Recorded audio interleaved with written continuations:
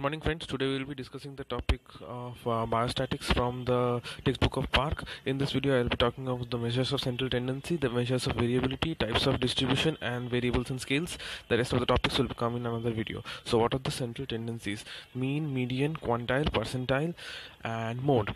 So so mean is the sum total of the different samples divided by the number of such samples. Median is the middle value. Mode is the most commonly occurring sample. What is outlier? Suppose I give you different numbers like 1, 2, 3 and 99. So which is the outlier? 99 because it is totally different. So outlier maximum affects which one? Mean. It is least affects mode. So most preferred in medical studies is median. Mode is of two types, unimodal or bimodal. In case of bimodal, just uh, find use this formula mode equal to 3 median minus 2 mean. In case of unimodal, find out the most commonly occurring sample and that is uh, the mode. In case of what is quartile? Quartile is basically when you divide the whole data into four parts uh, and that is called quartile. Each part is called a quartile and the dividing points are called intercepts quartile is basically one third second quartile is basically half third quartile is basically 3 by fourth. What is percentile? Percentile is basically by dividing the entire data into 100 parts and then using one of the um, different parts. So when i say third percentile is i am basically saying that i'm dividing the entire data into three parts and using one out of the uh, 100 suppose n equal to 250 then what is the 40th percentile of 250 40 by 100 into 250 that is 100 now i give you a set of nine numbers 8 2 6 1 4 2 9 2 5 so what is the mean? I'll add the different numbers and divide by 9 what is the mode? 2 because it is occurring thrice and median. I'm arranging the different numbers in ascending order and the middle one is 4 so that is the median Next is the different measures of dispersion or variability. What are these? Range, standard deviation, standard error, coefficient of variance, and z-score. What is range? Difference between the minimum and maximum value. That is range. Generally not used. Standard deviation. Standard deviation is the square root of variance. It is the most uh, commonly used measure of dispersion is how to find out standard deviation suppose i give you the different numbers like 1 2 3 4 and 5 you find the mean then you subtract it from the mean then you square it and then divide it by the total number of variables and then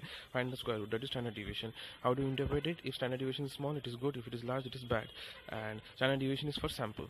And population so standard error Next is coefficient of variance. Coefficient of variance is standard deviation by mean into 100.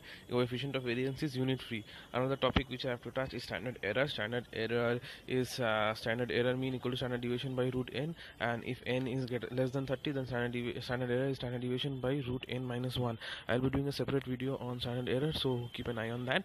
And also remember the standard deviation is for the sample whereas standard error is for the whole population. Standard error is also used to calculate confidence interval. What is confidence interval? It is mean plus standard error.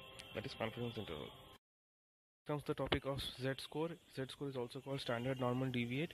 It is used for normal distribution. Z-score is equal to x minus x dash by standard deviation. That is z-score is equal to the value of the variable minus the mean by standard deviation.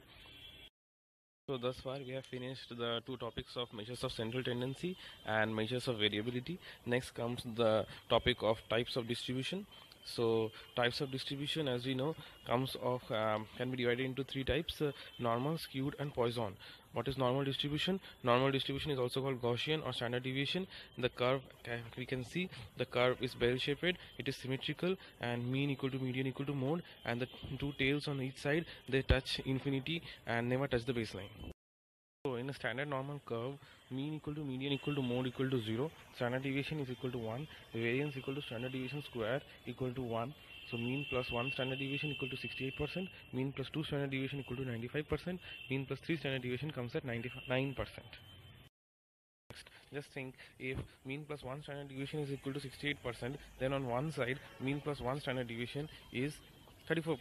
So what is left outside? What is left outside is 50 minus 34 equal to 16%. That is on one on either side. So what we can see is mean plus one standard deviation area left is 32%. Mean plus two standard deviation area left is 5%.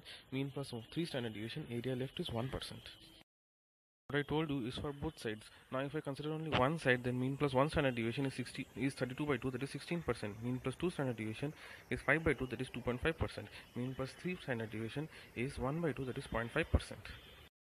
Next comes the concept of skewed distribution. In standard normal distribution, we know that mean equal to median equal to mode. But in right skew, what happens is mean greater than median greater than mode. And in left skew, what happens is mode greater than median greater than mean. So how do we un understand? In right skew, the tail is towards the right, whereas in left skew, the tail is towards the left. That is how we will understand. Right skew, large number of people will have values in the lower range, whereas in left skew, large number of people will have values in the higher range. That's it friends. Thank you for watching and please do not forget to like and subscribe the channel if you like the video. Thank you.